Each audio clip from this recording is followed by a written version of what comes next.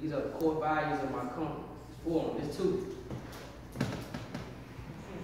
Persistence. I had to have persistence. I had to be consistent and persistent in the goal that I wanted to pursue.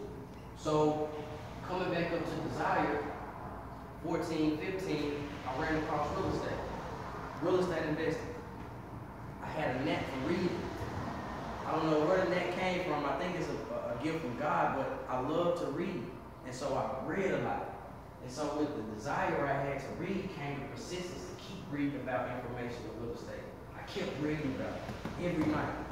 It would be sometimes it'd be one one a.m. in the morning. My grandma said, "What you doing that damn light on? You reading no real estate books? Why you still reading no real estate books? You need to go to school. Schools was gonna make you money. Real estate ain't gonna pay you." But I kept going, even though my own grandmother was telling me because I knew my grandmother just didn't have the knowledge of what I. So I kept reading books. Rocky inside. Uh, I went and sought out Sam Walton series. I was spending all the money I was saving for my job to go spend on books. Books changed my life, but I was persistently, persistently reading. And so from reading, I went to seminars. I, saw, I went to, I paid fifteen hundred for seminars to, to learn real estate at 19, 20 years old. I took sacrifices to go to these places and learn how to invest in real estate. Okay? It was a persistence. I had to be persistent. And so then from, from also having persistence, I would stumble into mentors who would already be established real estate investors here in the city.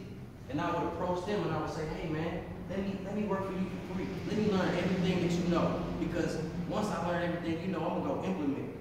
Because I was hungry.